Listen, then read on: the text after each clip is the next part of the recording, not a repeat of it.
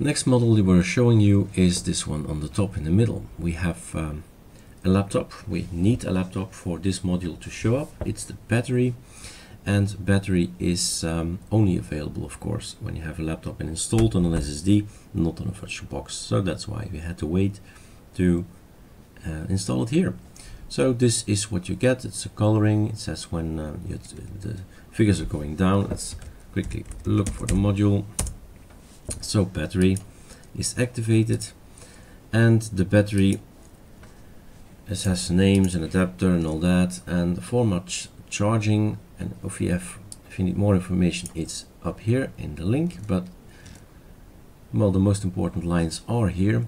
If you want to change the colors these colors are coming way up from from line I don't know 50 or something and at the top they are defined there. So this is a variable. It's a code. It's an hexadecimal code a color code. So that's working. Um, right. So the format is defined there. So animation charging and we get a label charging and and so on. So this is when it's charging. This is when it's discharging. When it's full. And all the colors are defined in here. And uh, icons as well so go ahead and, and change some colors I would say and experiment with this module. Take care